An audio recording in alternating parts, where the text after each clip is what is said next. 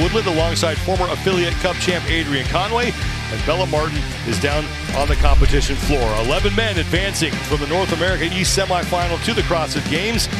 And right now, everyone chasing Benoit Boulanger, who would be the last man in. Both he and Jack Rozema are in this third heat. So we will be keeping an eye on that battle. Rowing and handstand walking, Adrian.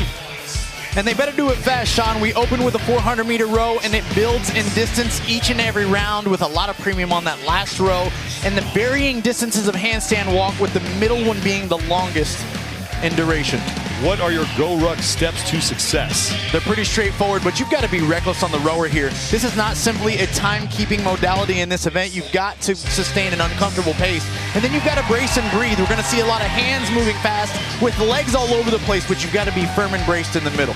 10 men on the floor for this third of four heats. We mentioned Benoit Boulanger. He will be right in the middle, and right now that man is a marked man.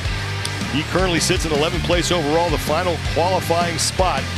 And Boulanger been to the semifinals now three times looking to get to the games for the first time in his career.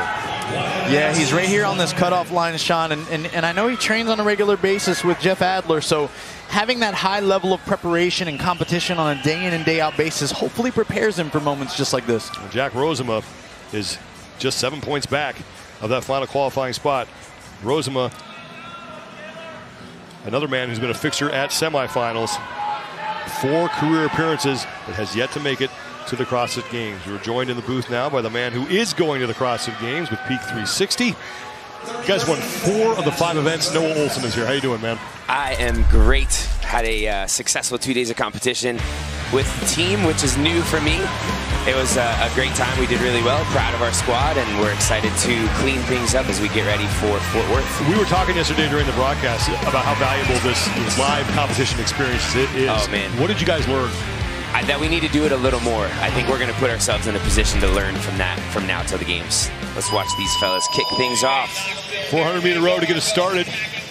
Top time still belongs to Jack Farlow, 7 minutes 40.23 seconds. The Jocko Go and Mulk are sending you to the CrossFit Games in Fort Worth. You can enter to win a VIP trip for two to the CrossFit Games, VIP tickets to the games, airfare, lodging, and a meet and greet with Jocko Willink. You can head to jockofuel.com slash VIP trip to enter. Count me in, signing up. hey man, why not? Noah, you've been in this situation many times as an individual competitor is there anyone out here that you look at it in this heat and you're like, okay, that's someone to watch for these for this couplet out here? Man, there's a lot of really, really talented fellas in this heat, and obviously we've got another heat of really good guys coming up. Um, so that's something they have to be aware of too. When you're in an earlier heat, you have to know that even if you take an early lead, you've got to keep hustling because there's a 10 other guys that are coming for you in the next one. I think in this heat, I would be looking at Benoit. I think he's got the experience of training with Jeff. He's a long guy too. Yeah. I think if you're a great rower, you can be successful here, or if you're a great handstand walker, either one of those is going to give you a little advantage, and obviously uh, being good at both won't hurt. A hand in the air for Boulanger and Rozema, right side of your screen. Keep an eye on Luke Parker in lane number four as well. Parker is in the mix right now for that 11th and final qualifying spot. He's only 10 points back of Boulanger. Dre Strohm is off first ball by Rozema.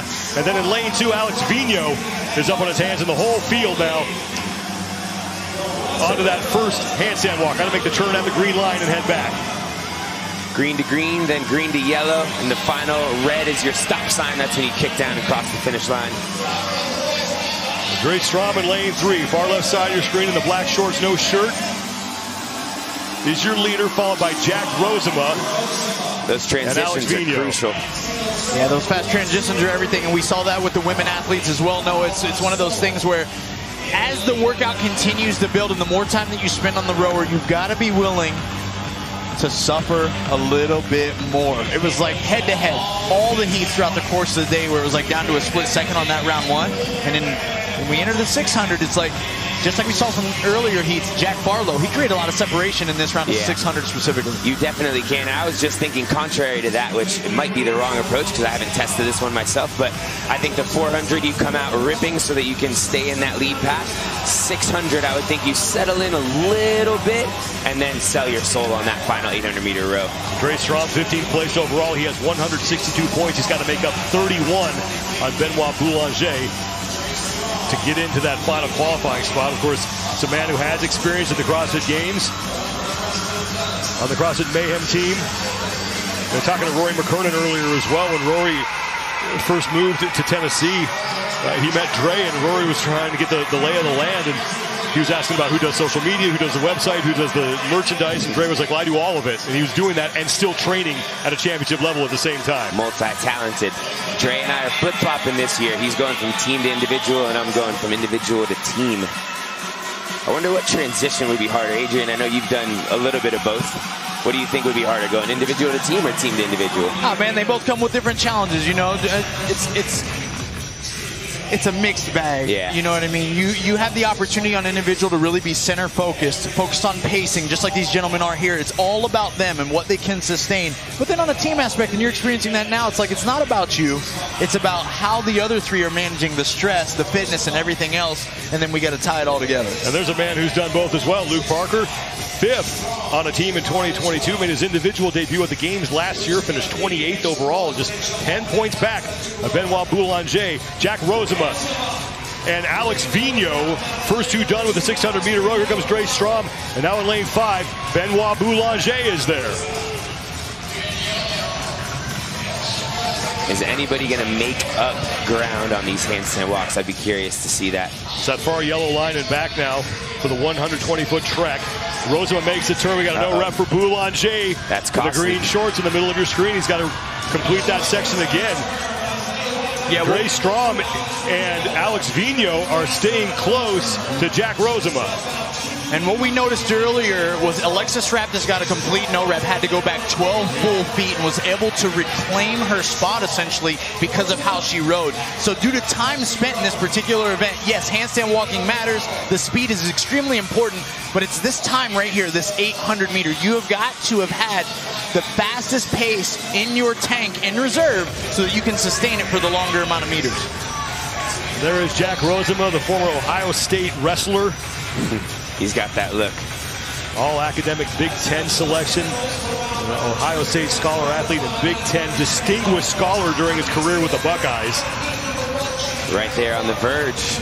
Yeah, and Rozema finished 13th last year. He was close. Watch him compete in the elite division at Wodapalooza this year. This is a guy who it's so easy for me to be like, man, I want Jack to punch his ticket. I want to see him out there on the floor in Fort Worth. He's also spent time as a JAG officer in the Army. That's right it's cool to see athletes that are successful in other sports transition into our sport because I think they bring a little bit of different expertise that somebody that's just a CrossFitter may not be used to. Dre Strohm is staying close to Jack as we check in with their monitors right now on that 800 meter row. Rozema is on the right, Strohm is on the left. That's a big difference there. A few seconds per 500 is going to add up during 800 meters of rowing. That's right. And, and it does add up, and Rozema already having a lead in regards to meters at typically coming, he's going to start to approach about a 30 meter separation here real quick away from Andre.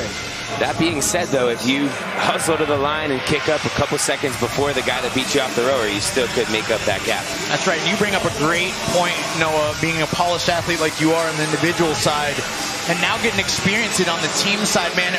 What's the new points of emphasis for you? Transitions in and out, eye contact with your teammates. Like, what are the things that you've learned this year so far? Yeah, all of those things are really important. I think being able to stay in sync with everybody, make sure you have a game plan. That's been the biggest transition. When you have a game plan as an individual, if, if one thing goes wrong, you can kind of adjust on the fly and figure it out yourself. When you're on a team and something goes wrong, there's three other components that you have to make sure are on the same page for whatever that adjustment's going to be. But these guys, if they, they make a quick mistake, they can just quickly reset and go. Hopefully that none of those happen here. That's what I'm thinking about on this final handstand walk. Mm, yep. You want to get up into the handstand position as quickly as possible, but if you rush it, that's a crucial final handstand walk there that you don't want to make any mistakes on. Judge's hand in the air for Jack Rozema, right side of your screen. Then immediately after that, the judge's hand in the air oh, in lane baby. four, Ooh. second from the left. Now third from the left, Luke Parker goes into the air, followed by Dre Strohm. You saw Rich Froning looking on earlier. These Watching his Mayhem athletes really do well here in the scene. Now Alex Vigneault wow. is going to be the first man out, followed by Rozema and Parker. It's just one trip down the floor here. Here it goes. Dre Strohm and Benoit Boulanger are out. when you're in this position, you're just praying your arms don't give out and you can make it to that finish line. But Jack Farlow still going to have the top time. Vigneault catching up. And we'll have to see who got across the finish line first as we go to the chip. Rozema and Vigneault were dead even. Strohm is in. Panchik, Boulanger. That was a tight finish. Got Marquand Jones still out there finishing up. As Jones works his way to the finish line, Jack Rozema is going to get the heat win. He edges out Alex Vigneault by six one hundredths of a second. That little ankle slide wow. there makes a difference. Will Carter's finishing up. Will Carter, another former team athlete yep. in this heat. A little tank walking on his hands. Man. Just a stout individual there working his way through. Was on nice. Move Fast Lift Heavy last year. Gets it done. That was a fun little finish there. Always is. This this event is like a flash in the pan, man, in regards to the finish. It's crazy. Jack my, my Rozema. Right now, third place in the event as both Jack Farlow and Nate Ackerman still have the top two times. But he looks to gain ground on Benoit Boulanger, and it looks like depending on what happens here in Heat 4, Jack Rozema could be in a qualifying spot. There's no doubt about it. He looks like he's handling business the way that he came to handle it. He wants to go to Fort Worth and be a part of this first generation that gets to experience the CrossFit Games there. And it was Dre Strohm early, but we talked about this with Noah. Hey, what matters more, the handstand walk speed or the rowing speed? And it certainly was a tell of the rower on the final 800 meters where a lot of the athletes were rowing a faster clip than that 144-145 split, and it allowed them to be some of the first to put their hands on that finish mat across the finish line. Mr. Rozema handling business. Six one hundredths of a second